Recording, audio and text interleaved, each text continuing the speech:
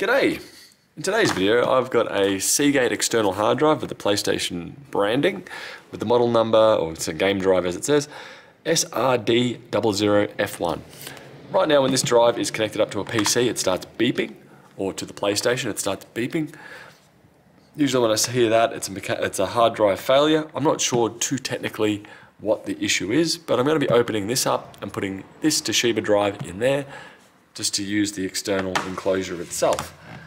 So what I should be able to do is I've had the top of this heating up at about 70 degrees and with that combined with a plastic pry tool, maybe a metal pry tool, I should be able to get in there and take the cover off to get to the drive and then replace the drive.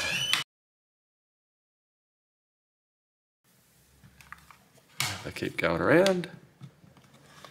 From memory this is just glued on. As you can see, there's the oh, double-sided tape. There we go. So the heat did help lift that off. Here's what I want to come here for. This one is a one is a two terabyte drive, but I don't have any two terabyte drives available. So I do have a second-hand one terabyte. Thus, I'm using the one terabyte drive. This should peel off. Uh, right now with the added heat, this should come off relatively easy for me or at least easier than if it's cold. Since this drive is dead, I don't really care about it getting too hot. Granted, I've never really had too much, many issues with hard drives overheating. Go, flip this over, and then slide this out. Take off the tape, there we go. So that is the dead 2 terabyte hard drive. Even though it says game drive, it doesn't really matter. It's still just a standard external hard drive. Uh, does, does, I don't think this mentions RPM on here. Uh, no. And then we should be able to feed that through here. Like so.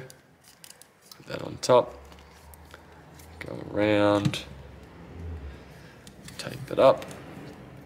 Now, I'm not sure if the PlayStation will ask to format it when it's connected. I believe it might if it's the wrong format.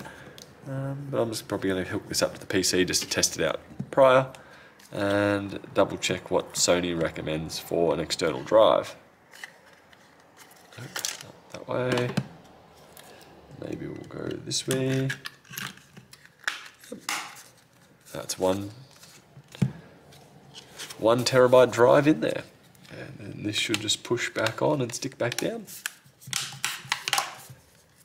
That may potentially be a cheaper method to replace the dead hard drive to Seagate 2 terabyte game drive if that drive has failed like this one has. Oh, yeah, simple, straightforward. Hope that helps and I'll see you later. Bye.